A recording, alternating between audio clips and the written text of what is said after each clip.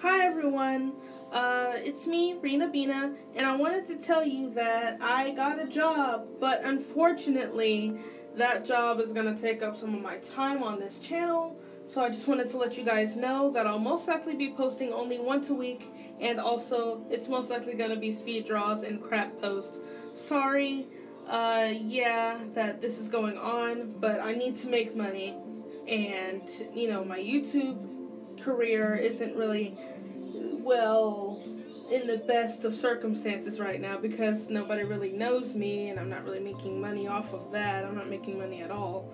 But yeah, I just wanted to let you guys know I haven't forgot about you.